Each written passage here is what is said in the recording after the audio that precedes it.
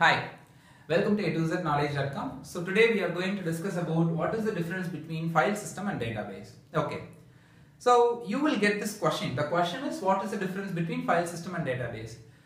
You won't you won't get this uh, question when you are not aware of what is file system. Okay, now you are aware of file system. Then you will get this question. Okay, I will tell you. I'm, I'm I don't want to confuse you. I will just tell you. See, file system is nothing but how the data is stored in your hard disk. The, the way which we read the data from hard disk, the way which we write the data to the hard disk. So read and write from and to hard disk. So that is handled by your file system. The file system will be get installed in your machine when you install operating system. When you install Windows, you will get file system. When you install Linux, you will get a file system. So the Windows file system name is NTFS, New Technology File System. Linux uh, OS uh, file system name is EXT, Extendable File System.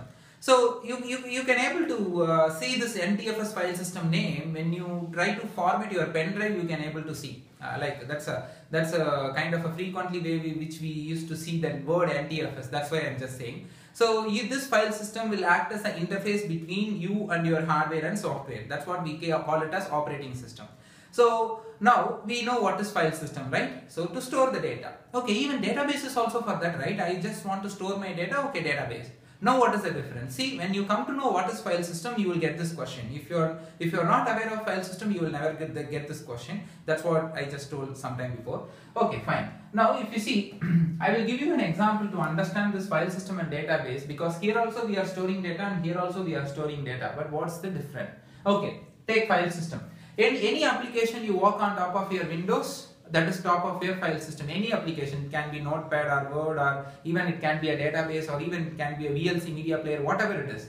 So I'm just I just open my Notepad. Okay, I just open my Notepad. So in my Notepad, I'm just I'm just I'm just typing something like one comma Gautam.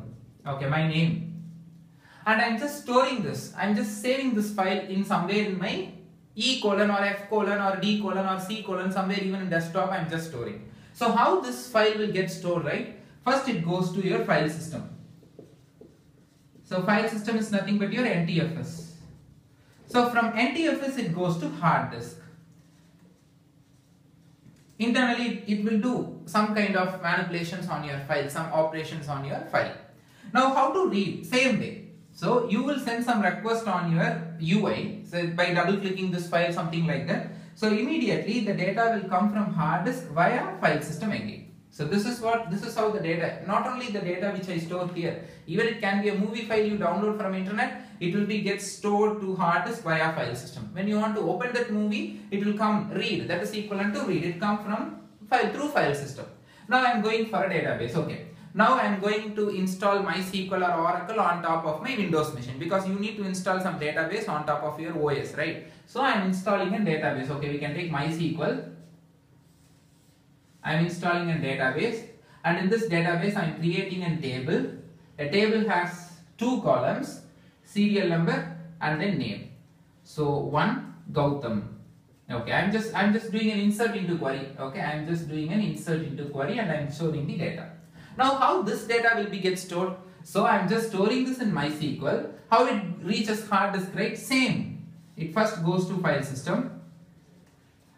It can it is NTFS because we are just uh, seeing this with Windows uh, as an example, right? From file system it goes to hard disk. Again, if you want to read, you do, you just do select star from. So again from hard disk via file system through MySQL you will get the output. If you see the application is different but the way it gets stored in underlying thing is same. Now with this example again you will get this question. Yeah, yes, now what is the difference because here also we store, here also we store. What is the difference between storing data in a file system and database? The very major, the very first major difference between these two is when you store some data via this, okay, so other than database, I can say like that. Other than database, when you when you when you store your data via file system and it reaches hard disk, it will be stored as raw data. When I say raw data, as is. How I am storing as is, it will be get stored. That is a data without structure. Okay, there is no structure you are giving for your data when you use other than RDBMS to store the data in your hard disk. But when I use some RDBMS, some database to store my data in my hard disk, I am giving in structure here. You can see here a table I am creating which has a serial number and name. I am giving a structure. To interact with that structure, I am using a separate query language called SQL. So to interact, so or whatever the query language the database supports other than SQL is also fine. So how I am interacting. So this is the first different. You have no structure for the data when you store it in file system other than RDBMS but you have a structure when you store it via RDBMS. This is one big difference. Just I want to tell you one more difference also. We have many other difference because we have lot of advantages with database when you store data through database. So thing is if you want for example I have five records and if you want to search or retrieve fifth record okay so it will it will just go in sequence. It will search for one. Okay, it is not five. It is not five. It is not five. Then it will fetch the fifth one. So there is no random read write. But if you take in databases, so I am having five records and where I am just giving a query, select star from table where serial number equal to five. Directly it comes here. It has random read write. Okay, this is one different. Like that, we have many other options with it and all programming languages has a support to connect with any RDBMS to retrieve the data. So the data, same 1 comma Gautam when it stores in hard disk, it will be stored with structure. But the, the data which I store it via this notepad or other than RDBMS is without structure. That's the difference. Because we will never get this question when we don't know what is file system. But when we know what is file system, you will get this question because daily basis you are storing a lot of files in your desktop, in your My Documents videos. Same thing only we are storing in MySQL also. I can even store my uh, uh, video files or audio files, even a structure file. Storing in a direct file system and, and, and storing the same data on top of some database, again it is get stored in the file system only, right? So what is the difference? So that's what I just tried to explain you.